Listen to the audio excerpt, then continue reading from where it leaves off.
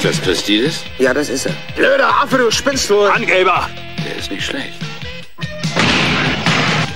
Ein Tor macht noch lange keinen Star. In meinen Augen schon. Du bist ein Problem. Du willst spielen. Ich weiß es. Das ist mein Problem. Alles, was ich will, ist spielen. Du willst, dass ich dir ein paar Tricks zeige? Nein, keine Tricks. Mir fehlt was ganz Wichtiges. Ich kann dir nicht helfen. Du kannst dir nicht mal selbst helfen. Das ist die Geschichte vom Aufstieg eines Champions.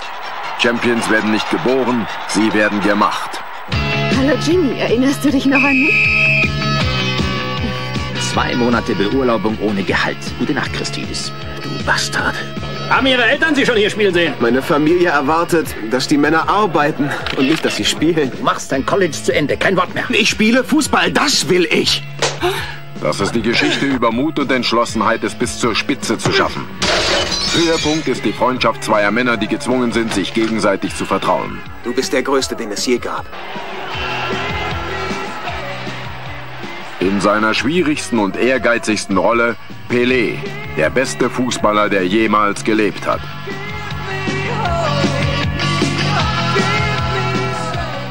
In einer anderen Welt, einer fremden Kultur, muss Jimmy vom Ehrgeiz geblendet ganz von vorn anfangen. Los, komm, Jim!